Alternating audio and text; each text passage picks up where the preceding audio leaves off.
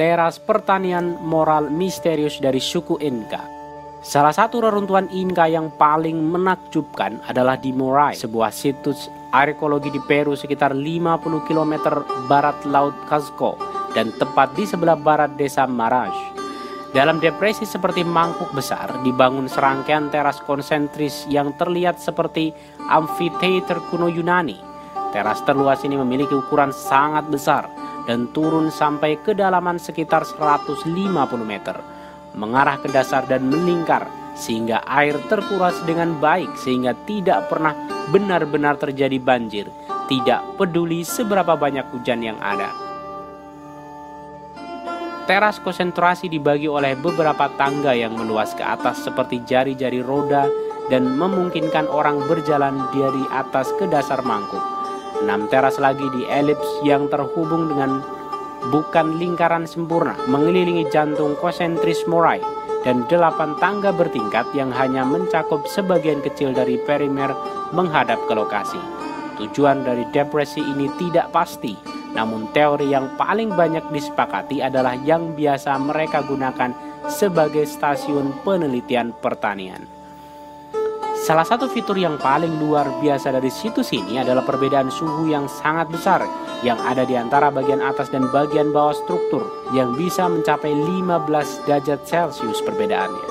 Perbedaan suhu yang besar ini menciptakan iklim mikro serupa dengan yang dicapai di rumah kaca di zaman modern yang memungkinkan digunakan oleh Inka untuk mempelajari efek dari kondisi iklim yang berbeda terhadap tanaman.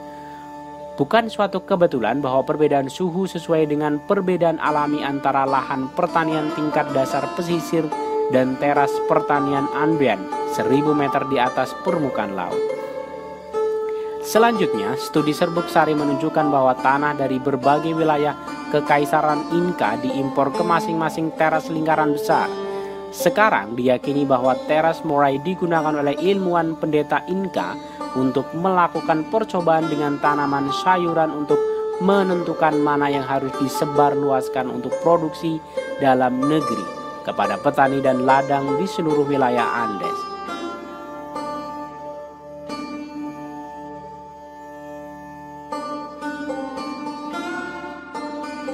Teka-teki lain adalah bagaimana dryness air mengalir melalui saluran air bekerja. Tingkat terendah dikeringkan dengan sempurna dan tidak pernah terjadi banjir, bahkan setelah hujan lebat. Maka harusnya terdapat saluran bawah tanah yang dibangun oleh dasar depresi yang memungkinkan air untuk mengalir. Hal lain juga memungkinkan adanya formasi batu alami yang memiliki pori-pori yang memungkinkan penyaringan air ke arah interior bumi.